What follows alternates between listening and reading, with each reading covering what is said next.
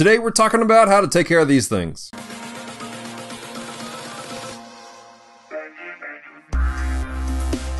What's going on, Devoted Geeks? Welcome to Geek Devotions, and this is Extra Tuesday. I'm so glad you hit the play button. Do me a favor if you like today's episode, make sure you hit the like button. If you'd like to get more content just like this and others, let us know in the comments down below. And also don't forget the subscribe button. Next to the subscribe button, there's a little bell symbol. If you hit that, you'll be notified every time we make an episode go live on this channel. That being said, today we're going to be talking about taking care of comic books. Why are we doing that? Because Christmas time came around recently, and what did Celeste get me? Well, she went to my local comic book shop, Excalibur Comics, links down below, got me some of my backlog. It's been a while since I've been able to pick up my comics, and so this was really special to me. So, um, I take care of my comic books. And today I want to teach you guys about how to take care of comic books because it really is an interesting process that I learned years ago as a kid. So, quick backstory uh, when I started getting into comic books, I didn't know how to take care of them. I would actually just kind of throw them in this little uh, magazine rack that I had in my bedroom. And I'd fill them up, and it got so big that my comic books started ripping and tearing apart, and it really started to bother me. And so my mom, seeing that, she actually went down to the library and got me books on how to take care of comic books. And after I'd read them and gone through them and everything, she did something really cool. She got me my very first uh, valuable retro comic book. It was an old X Men comic book, and I I love it to death. I still read it today, and I take as good of a care as of it as I can. And so, part of taking comic books, there's a taking care of comic books. There's several different aspects. Um, comic books today, uh, they're not like they used to be. These are actually nice premium style um, material the pages are made out of, so they don't tear nearly as easily, and they don't uh, fade as much as they do. But they, you still have to be careful with them. You got to be careful on how you treat them. You don't want them to bend and all that stuff. I'm not saying that these are going to be worth millions in the future one day, like like they used to be uh, with some of the Golden Age comics, but you still want to take good care of them if you're a collector or just someone that maybe there's a couple books that man they really mean something special to you. So how do we do that? How do we take care of them? Some of you may be familiar with the term of bagging and boarding. And so the way that works out is you get some bags, and these right here. This is the BCW current. That's important. Current age. That's what we're in today. Uh, uh, polypropylene comic book bags, and these are really cool. Um, these particular bags have a little piece of tape on the backside of them. Let me pull it out for you real quick. Just like this. And on the backside, you can't really see it right here. I'll try to give you guys a close up here in a second.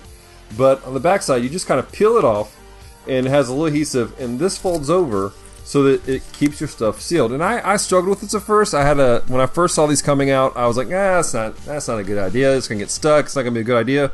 But the more I used them, I really enjoy it. I can't tell you how many times I've struggled trying to find a Scotch tape dispenser. so they're really great.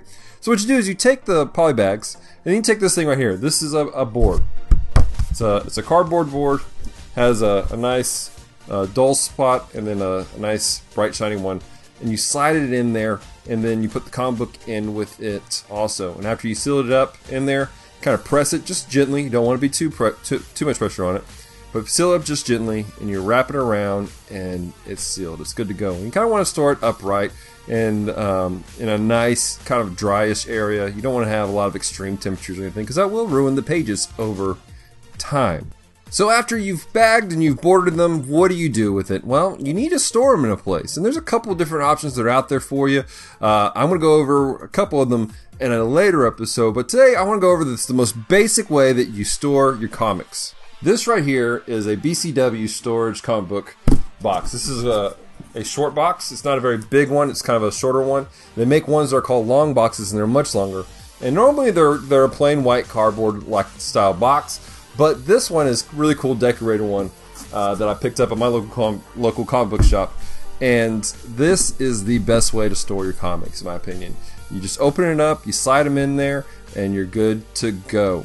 In these boxes and in the bags helps keep some of the, the outside atmosphere from attacking the pages and, and crinkling your pages over time.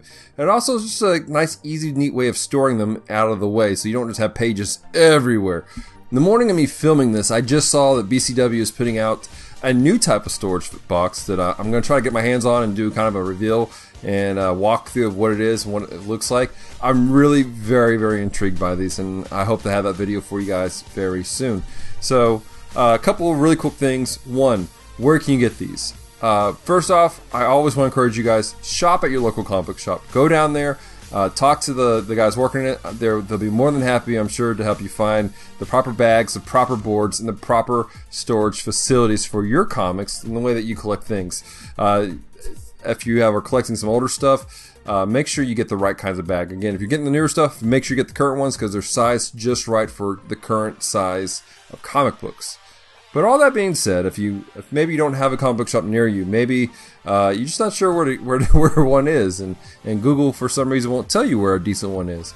Uh, in the links down below, I have put links to all the stuff that I've just shown you guys. Uh, they are uh, Amazon affiliate links, so if you click on them, I do profit a little bit out of it. However, that's not why I'm doing this. I just want to make sure you guys get some decent quality stuff to take care of your comic books because as someone who's a collector and someone who enjoys reading these stories, um, I understand the desire to take care of them and make sure they stay nice for years to come. And quite honestly, I want to be able to share these with my kids one day. So that's it for you guys. Hope you enjoyed this week's Extra Tuesday. Make sure you check out our Geek Devotions. They're on come up every Friday at 4 p.m. Central Standard Time. And uh, also check out our Bible study tonight t- it's a Tuesday. It's gonna be tonight on our Facebook page, facebook.com forward slash geek devotions, and check out our community page, uh, the Devoted Geek Life. Uh, just type in Devoted Geek Life. We pop up. There's a lot of really great people in there for you to hang out, talk with, and uh, just you know have fun. So love you guys. Have a fantastic week. Don't forget to stay devoted. Peace and love.